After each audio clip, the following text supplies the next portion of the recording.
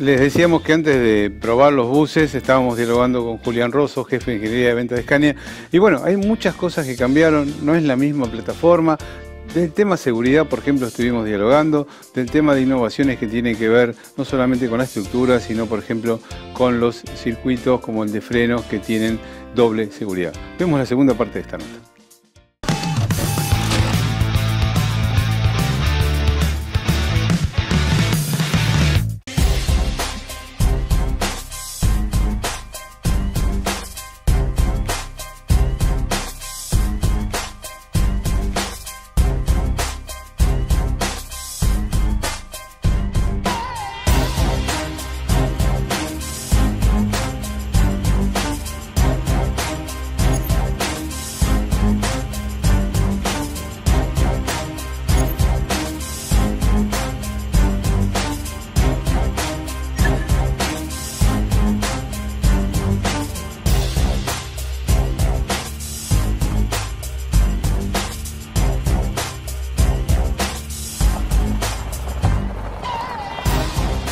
Eh, el concepto detrás del rediseño del chasis pensado o enfocado en lo que es una simpleza de mantenimiento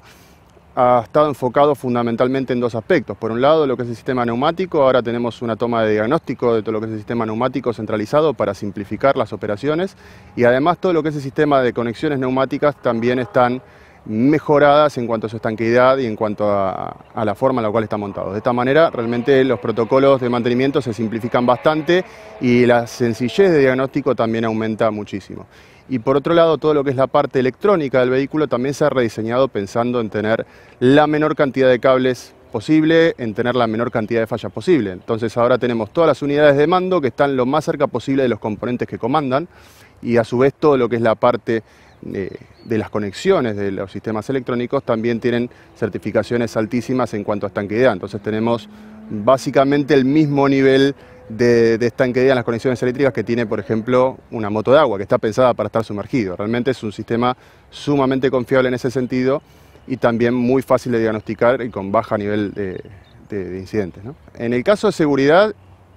tenemos también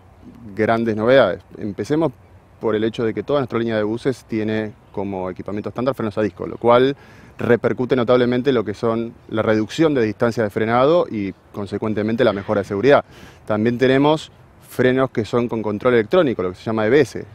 lo cual también colabora mucho a reducir los tiempos de respuesta entre el momento en el que el conductor frene y la frenada se efectivice.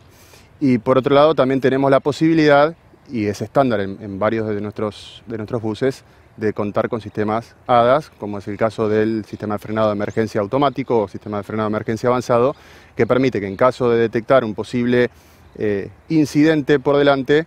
o, un posible objeto que pueda colisionar en el bus, permite frenar de manera autónoma si el conductor no toma respuesta. Por supuesto, quiero volver sobre el punto del frenado con control electrónico, si bien el frenado es electrónico, tenemos una redundancia, no es únicamente un sistema comandado por, por cables, sino que además tenemos un sistema neumático que lo respalda en caso de que existiese un fallo. Es un sistema absolutamente a prueba de, errores, en ese caso no hay riesgo alguno de que el bus se quede bajo ninguna circunstancia sin poder frenante. Desde el punto de vista de mantenimiento, otra de las grandes novedades que se presentan con esta nueva serie es un cambio en la forma de hacer el mantenimiento. Anteriormente lo establecido y lo que todo el mundo conocía era el mantenimiento periódico. Bueno, con esta nueva serie también estamos proyectando la posibilidad de incorporar, dependiendo de la operación, el mantenimiento flexible. ¿Qué quiere decir esto? Quiere decir que sobre cada unidad se va a hacer un monitoreo detallado y se va a decidir cuál es el momento adecuado para hacer el mantenimiento. De esa manera no corremos riesgo ni de submantener la unidad ni de sobremantenerlo y esto mejora lógicamente lo que es la disponibilidad de la unidad para que nuestro cliente lo utilice dentro de ese paquete de servicios y sabiendo que muchos clientes tienen sus instalaciones, está la posibilidad de equipar las instalaciones de nuestro cliente con lo que Escaña denomina un CWS, que es un taller especializado de Escaña dentro de las instalaciones del cliente con personal de Escaña para realmente mantener en estado óptimo su flota de unidades. A ver, en el caso del bus de 15 metros que tiene eje direccional trasero, justamente para mejorar lo que es el radio de giro, pensando que es un vehículo considerablemente más largo que un vehículo convencional, ese, ese ítem en particular, el hecho de tener el eje trasero direccional, lo dota de una agilidad realmente ejemplar, en muchos casos mejor inclusive que un bus tradicional, y creemos que es una, una alternativa de transporte que se va a empezar a popularizar bastante porque justamente permite una muy buena flexibilidad entre la cantidad de pasajeros transportados y una capacidad de baulera superlativa como para poder realmente tener este, un, transporte muchísimo más flexible y poder pasar de la modalidad de transporte de, pasajeros a carga realmente con, mucha más flexibilidad con unidad de doble piso tradicional. Entonces creemos que en esta época post-pandémica, donde se requiere una solución lo más flexible posible, esta va a ser una muy buena alternativa para nuestros clientes. Creo que los puntos eh, más importantes que tenemos para ofrecer desde Escaña lo que es el transporte urbano son aquellos relacionados a lo que es la robustez del producto, aquellos que son relacionados al servicio que Escaña puede ofrecer, a lo que es la durabilidad de la unidad y lógicamente también a lo que es el costo operativo. Este es un bus que, que ya hemos probado extensamente a lo largo y ancho del país. Sabemos que funciona muy bien en materia de costo operativo, tiene un consumo muy reducido, entonces realmente es una diferencia notable en lo que es el costo operativo es un motor también muy silencioso en lo que es el confort del pasajero también mejora. Y tenemos un bus justamente muy muy robusto que le va a permitir a nuestros clientes tener la mayor disponibilidad posible para este tipo de operaciones.